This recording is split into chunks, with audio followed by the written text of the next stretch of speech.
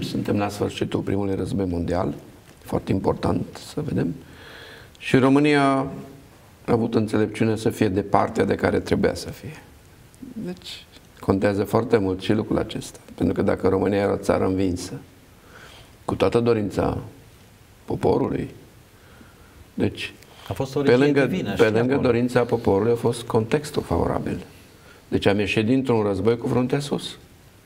Și oamenii aceia care au murit, mulți dintre ei au știut că mor pentru unire. Au fost bine motivați. Și când există această jertfă pentru unire, aș porni de la ideea asta, jertfei pentru unire. Deci a fost o generație responsabilă. Am prins o generație de politicieni responsabili, de lideri responsabili, și când este o generație responsabilă în fruntea unei țări, când este jertfă din partea poporului, se întâmplă binele poporului. Deci ar trebui să ne punem mari semne de întrebare despre importanța generației responsabile. Aș pune-o pe aceste două cuvinte. Generația responsabilă. Alfa,